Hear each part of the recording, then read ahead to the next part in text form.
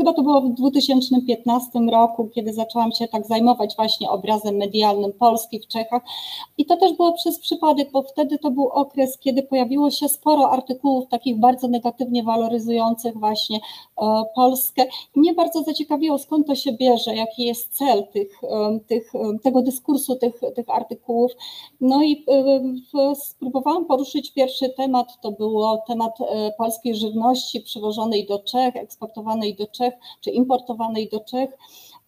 I obraz właśnie Polski jako, jako eksportera, który czy importera, który przywozi żywność jakby bardzo niskiej e, jakości. I zaczęłam się zajmować tymi tekstami, czytałam je pod tym kątem, e, co sprawia, że my te teksty e, czytamy i odbieramy je negatywnie, co jest właśnie językowym takim czynnikiem tej negatywnej waloryzacji.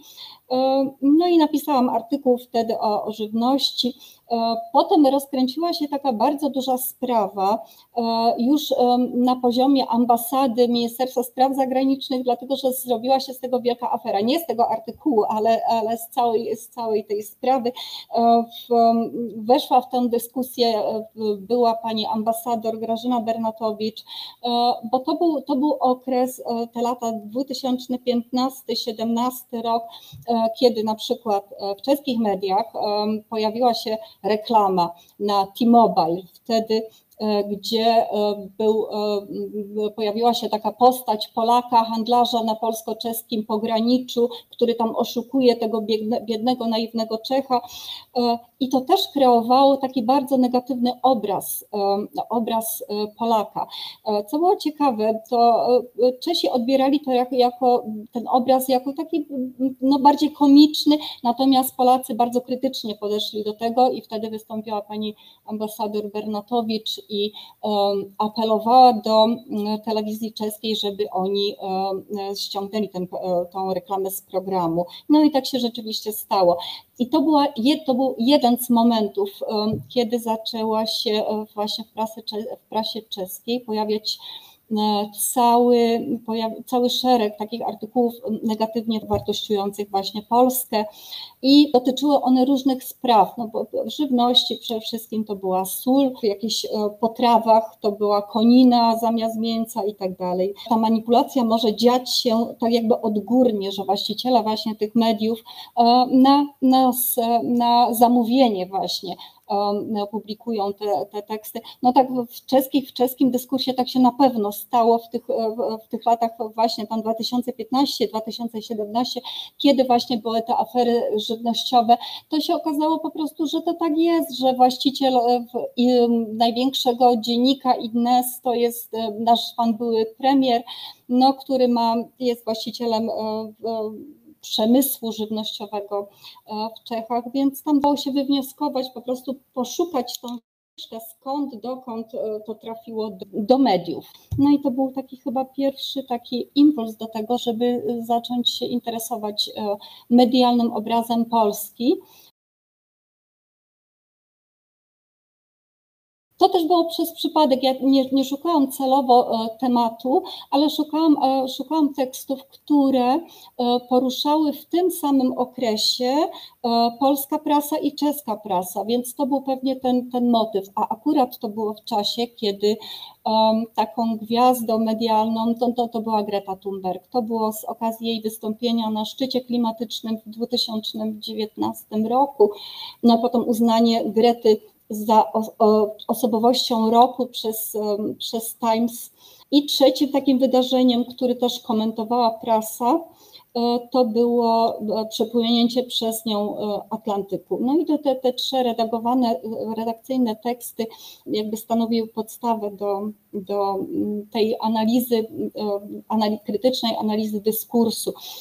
Czyli pierwotnym impulsem to był temat, wspólny temat w polskiej i w czeskiej prasie, a, a akurat tak się zbiegło, że to była Greta. W tym czasie to ona była właśnie takim swoistym fenomenem, e, to, to nie, nie tylko w prasie, bardzo dużo e, właśnie reakcji się pojawiło na te artykuły i mnie zainteresowały przede wszystkim komentarze.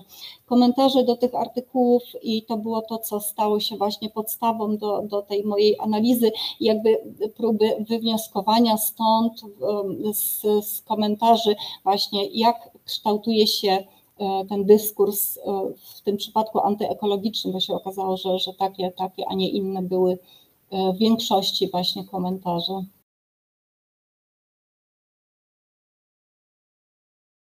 Jeśli media kreują, czy użytkownicy kreują obraz Grety jako osoby chorej, E, wskazują na jej wiek jako osoby, która nie ma żadnego doświadczenia życiowego, e, jako osoba, która e, gardzi wiedzą, dlatego że nie, nie chodzi do szkoły, dlatego że jakby nie uznaje autorytetu naukowców czy głosu naukowców w tej dyskusji, to ja uważam, że to jest manipulacja. Kreowanie tego obrazu za pomocą właśnie takich określników jak chore, chore dziecko, dziecko, które wskazuje wskazuje właśnie na jej wiek, na jej niedojrzałość, na, na to, że to jest osoba, tak jak powiedziałam, bez y, doświadczenia życiowego, wskazywanie na to, że osoba z syndromem Aspergera nie może e, się e, wiarygodnie wypowiadać na tak ważne tematy, jakie są właśnie te tematy ekologiczne.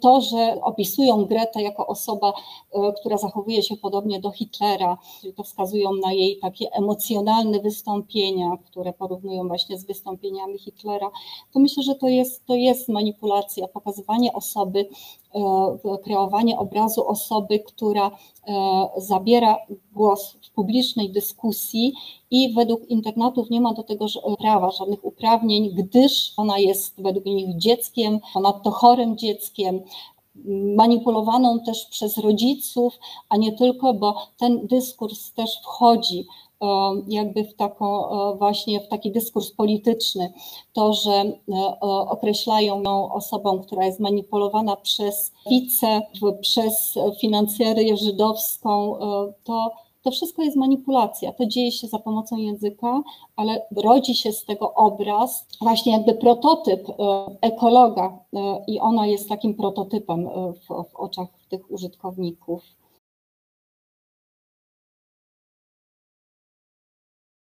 Ja myślę, że też ta negatywna jej rola miała pozytywny wpływ na to, że zaczęliśmy rozmawiać, e, zaczęliśmy, zauważyliśmy temat. To, ja przez to nie chcę powiedzieć, że, że ekologia była jakby spychana na, na drugi plan, ale myślę, że ona chyba pomogła otworzyć te e, drzwi takim, takiemu przeciętnemu użytkownikowi. To, to, nie był już, to nie był już rząd, to nie były organizacje na przykład proekologiczne, był to zwykły człowiek, który po prostu powiedział, co, co sobie myśli o, o tym, co się dzieje na świecie i e, możemy ją oceniać tak i tak. I za, zapewne znajdziemy argumenty po tej i po innej, po drugiej stronie, ale to, że E, ja uważam, że jej e, jakby ważny wpływ to jest to, że ona otworzyła tą dyskusję jakby szerszemu gronu czytelników, ludzi, którzy się interesują tym, co się wokół nich e, dzieje.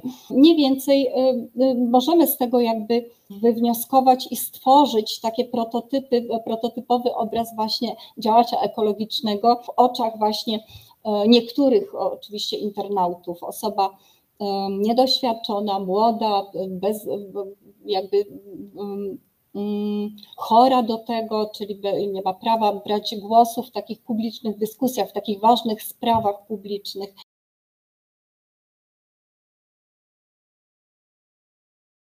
Czy ja mogę tego z własnego doświadczenia zacznę od tego, że Czechy są ponoć krajem, który jest najlepszy w segregowaniu odpadów. Tak, jesteśmy najlepsi pewnie w Europie Środkowej czy w Europie, nie jestem pewna, e, ale gorzej jest właśnie e, z jego, z, potem z utylizacją, że z jednej strony Czesi wzięli się za to, że, że będziemy segregować i rzeczywiście robimy to bardzo dobrze, w każdej ulicy stoją te kontenery na, na poszczególne e, rodzaje odpadów, ale ponoć robimy to bardzo dobrze, że bardzo dobrze segregujemy. Potem się dowiadujemy o tym, że e, niestety nie ma tyle, tyle urządzeń do utylizacji tego segregowanego odpadu, że potem się to wrzuca ponoć i spala się znowu tak jak, jak, jak wcześniej. Czyli myślę, że taka świadomość, taka proekologiczna w Czechach jest, jest silna. Czesi zaczęli zdrowo się odżywiać, e, wszystkie te bio, e, biożywność, żywność ekologiczna, gospodarka ekologiczna, właśnie e, eko, ekoturystyka, ekofarmy i tak dalej. To, to, to wszystko cieszy się ogromną popularnością. No z tego można, można wywnioskować, że zaczęliśmy myśleć o, o proekologicznie, zaczęliśmy myśleć o zdrowym stylu życia. Trudno mi porównywać, jak to, jak to jest, jest w Polsce w takim codziennym życiu. Trochę mogę, mogę powiedzieć, jak, jak to wygląda na przykład, jeśli chodzi właśnie o środowisko naturalne, ochronę środowiska naturalnego, bo to jest właśnie to jest taką częścią wielkiej dyskusji, na przykład na temat węgla i na temat Turowa, gdzie czeska strona broni środowisko naturalne, swoje środowisko, w którym żyje y, to pokolenie i będą żyć następne pokolenia, czyli tam jest naprawdę kładziony taki bardzo silny nacisk na ochronę środowiska, a z drugiej strony y, ten polski dyskurs jest bardziej emocjonalny. Polska strona broni oczywiście innych e, postaw, innych poglądów i z tego też, z takiego bardzo pobieżnego właśnie czytania tych tekstów wokół na przykład Turowa, wokół Węgla, to, to e, ten dyskurs się kształtuje e, w zależności od tego, jakich postaw broni która strona. I wydaje się, że, że czeska jest, opiera się o takie racjonalne przesłanki, racjonalne argumenty, i broni, broni środ swoje środowisko, środowisko naturalne.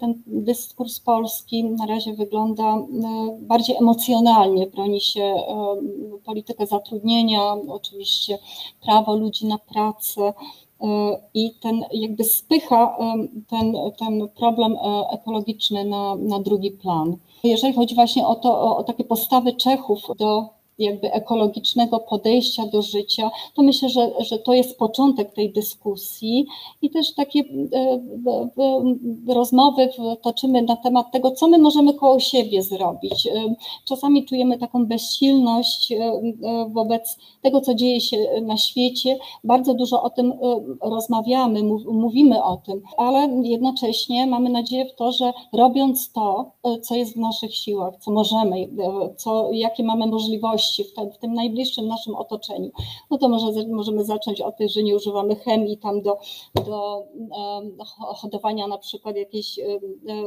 produktów, e, to, że segregujemy odpady, to, że oszczędzamy wody, e, to, że staramy się zamienić właśnie te wszystkie nasze media, czyli gaz, energię na na, na przykład na urządzenie, na fotowoltaikę, to, no, co za sobą oczywiście niesie znowu problem ich e, utylizacji, no, ale, ale myślę, że nie wiem, czy to są czynniki ekonomiczne, które prowadzą do tego, że, że znowu wracamy do, do jakby hodowania żywności w swoich ogródkach, do ekologicznego podejścia, do spalania na przykład, e, czy ogrzewania, ogrzewania w naszych domach ekologicznym właśnie drewnem, czy, czy też stosując właśnie te urządzenia, czy fotowoltaikę, to nie wiem, czy to są ekonomiczne jakby czynniki, czy to jest, czy, czy to, jest to pro, proekologiczne myślenie. Jednak myślę, że to jest to, to i to.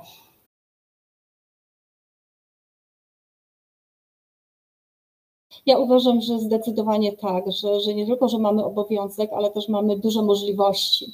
To, co robimy, to, że, że mamy możliwość w ogóle wpłynąć na e, kształtowanie się młodej osobowości e, poprzez edukację, to jest, to jest bardzo, bardzo ważny czynnik. Ja uważam, że, że że to nie jest, że, że, nie tylko to jest obowiązkiem, ale to, że mamy możliwość, to nam, to nam daje duże jakby szanse na to, że, mm, że będziemy mieli, czy że mamy chociaż jakiś wpływ w naszym zakresie właśnie, w zakresie tego, w jakim, w, jak kształcimy tych naszych studentów, to na, na pewno tak. Ja myślę, że, że po prostu, że, że to nie jest nic trudnego, skomplikowanego, że my możemy właśnie te treści ekologiczne, to, to rozmawianie o klimacie, że możemy świetnie zakomponować do wszystkiego, co robimy, bo to, to tak naprawdę do wszystkiego pasuje. To pasuje do Twojej gramatyki, to pasuje do czytania tekstów, to pasuje do literatury, pasuje to do, do, do wszystkich ćwiczeń komunikacyjnych. Przecież to są świetne tematy, które możemy wkomponować do, do tematu rodzina.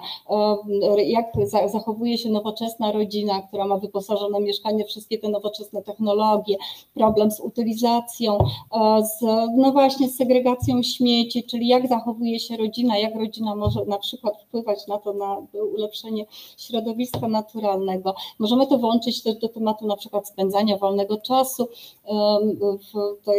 Wiemy, że, że młodzi ludzie jeżdżą po świecie, zbierają śmiecie na plaży, czyszczą lasy od, od, od śmieci czy możemy zakomponować to właśnie do spędzania wolnego czasu, zachowanie się na biwaku na przykład, bo już spotykamy te tablice, sprzątaj po sobie, to jest, to, to, to, są, to są świetne tematy, to są tematy na przykład te, te, te nowe, slow food, slow city, slow fashion, to są świetne tematy do rozmowy, jak żyć dobrze, powolniej i bardziej e, i lepiej, i lepiej. Myślę, że, że e, nie chodzi o jakby zastępowanie innych tematów, ale mamy świetną możliwość wkomponować e, pierwiastki, te elementy właśnie tego proekologicznego myślenia do tematów, które tak, tak na co dzień właśnie poruszamy. To może być gramatyka, to, to, to jest nowa leksyka, bo pojawiło się bardzo, bardzo dużo nowych wyrazów. Pokazanie, e, jak, w jakich nowych e, znaczeniach pojawiły się te właśnie te quasi złożenia czy elementy e, prefiksalne. I powinno to być, i powinno to być. Ja z tego, co, ja, dlatego, że uczę czeskiego też w Polsce, to pracuję z jednym podręcznikiem Lidy Holej i wiem, że ta tematyka tam się pojawia. Ona jest właśnie, właśnie wkomponowana w inne inne tematy. Nie jest to jakaś odrębna część, która tam, e, którą trzeba się tam wyuczyć. Ona ją powoli ją e, implementuje właśnie w, różne, e, w różne inne tematy. W, wiem, że tu w Czechach, czy nie w Czechach tylko, ale w ramach e, Polsko-Czeskiego Towarzystwa Naukowego działa świetna komisja do badania podręczników. Oni badają polskie i czeskie podręczniki e, z różnego punktu widzenia. E, robiło się właśnie wątki historii w, w, w różnych podręcznikach, w podręcznikach do nauczania języka czeskiego, polskiego i to może świetny temat do, znowu do badania, zbadać jaka jest czy jest obecny ten temat w ogóle w podręcznikach, a jeśli nie, y, albo słabo jest on reprezentowany, to wtedy y, trzeba byłoby się zająć tym, żeby to się zmieniło.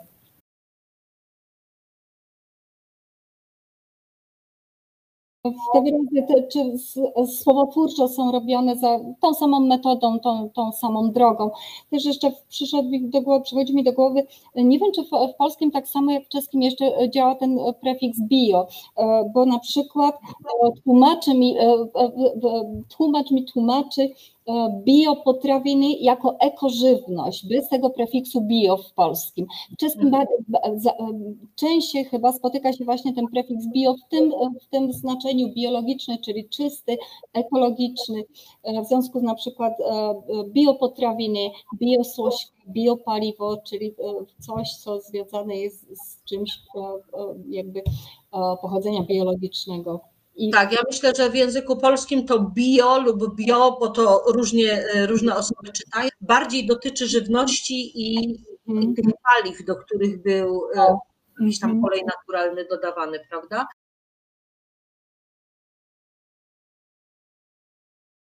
E, czy słyszałam w innym dyskursie, psychologicznym raczej, nie w dyskursie językoznawczym.